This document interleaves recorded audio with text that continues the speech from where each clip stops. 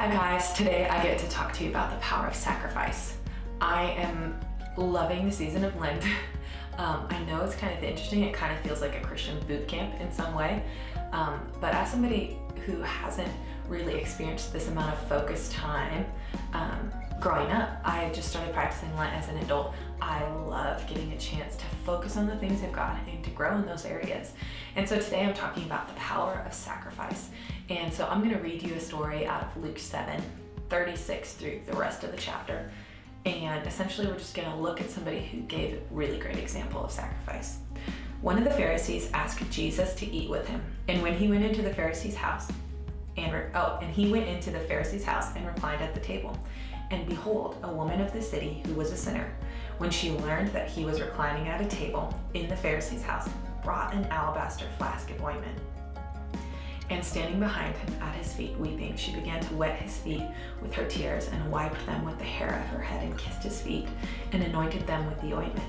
Now when the Pharisees who had when the Pharisee who had invited him saw this, he said to himself, not to Jesus, to himself, if this man were a prophet, he would have known who and what sort of woman this is who is touching him, for she is a sinner. And Jesus answering said to him, Simon, I have something to say to you. I love that Simon said this to himself and Jesus responds to him. I think that's kind of cool. Simon, I have something to say to you. And he answered, Say it, teacher. A certain moneylender who had two debtors, one owed 500 denarii and the other 50. When they could not pay, he canceled the debt of both. Now, which of them will love him more? Simon answered, The one, I suppose, for whom he canceled the larger debt. And he said to him, You have judged rightly. Then turning toward the woman, he said to Simon, Do you see this woman? I entered your house. You gave me no water for my feet, but she has wet my feet with her tears and wiped them with her hair. You gave me no kiss, but from the time I came in, she has not ceased to kiss my feet. You did not anoint my head with oil, but she has anointed my feet with ointment. Therefore, I tell you, her sins, which are many, are forgiven, for she loved much. But he who is forgiven little loves little. And he said to her, Your sins are forgiven. Then those who were at the table with him began to say among themselves, Who is this who even forgives sins? And he said to the woman, Your faith has saved you. Go in peace. I can't imagine the experience that this woman faced when she walked into this Pharisee's house. So, first of all, I'm just going to give you an example.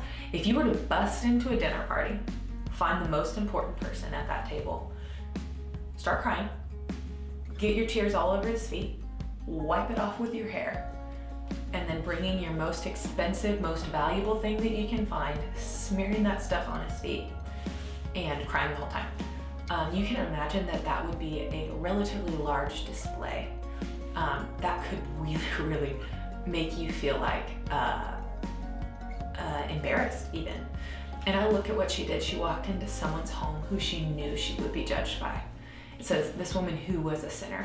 And then even um, Simon or the people at the table are like, if he was a prophet, he would know. Like she's dirty.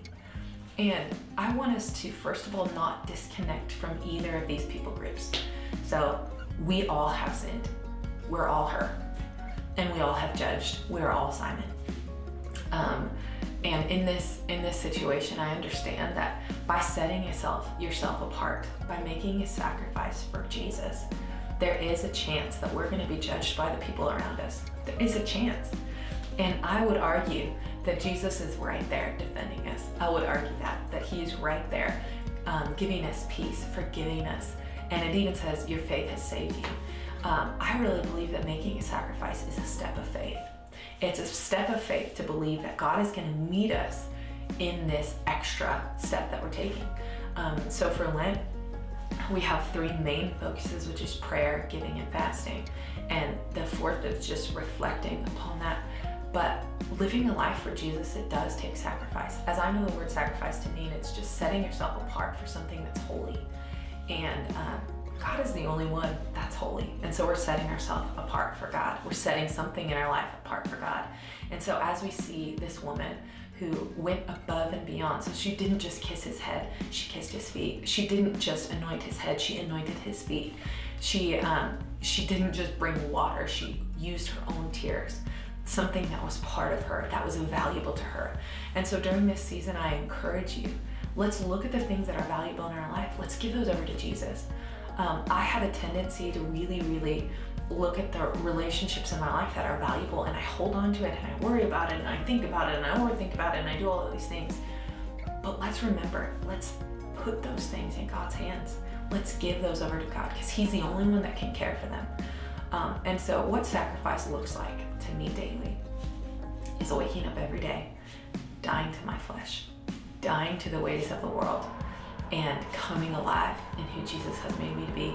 And I know that sounds vague and I know that sounds transcendental and all of those things, but to be honest with you, um, there is a step of faith that is involved in sacrifice. And Jesus even said, Your faith has saved you. Go in peace. And I believe that He is going to say that to us who are making the sacrifice to live a life for Him. Leah, your faith has saved you. Go in peace. Let's not forget, we have all sinned. Let's remember that Jesus is in front of us and he is worthy of everything that we can bring him. So let's not skimp. Let's bring everything to him. Um, I hope you guys are really enjoying this season of Lent and that your relationship with God is developing in a brand new way. We'll see you soon.